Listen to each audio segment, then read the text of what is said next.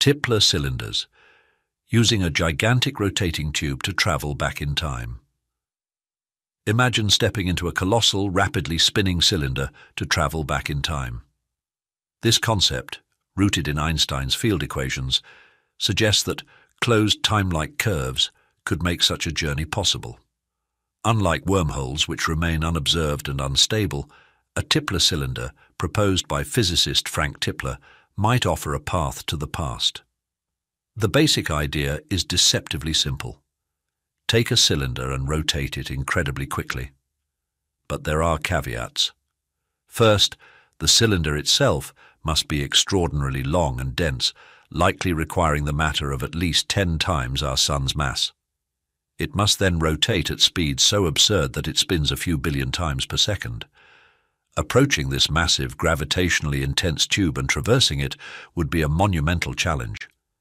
Yet, if these obstacles are overcome, entering the cylinder and accelerating on the right path could, according to some speculative math, let you emerge thousands or billions of years in the past and possibly several galaxies away from where you started.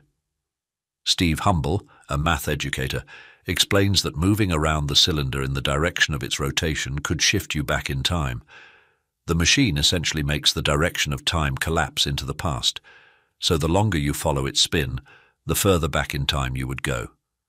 To return to the present, you would simply move away from the cylinder and head back to Earth, arriving in the present, but in the past. As fascinating as this sounds, practical challenges abound. Like wormholes, it is unclear if such a thing could exist outside of theoretical math papers. It might require negative mass, which we do not know exists, or an infinitely long cylinder. If humanity masters creating such a device, we might find ourselves in such an interesting time that we might not want to travel back to the past at all. So, could this ever move beyond theoretical curiosity to tangible reality?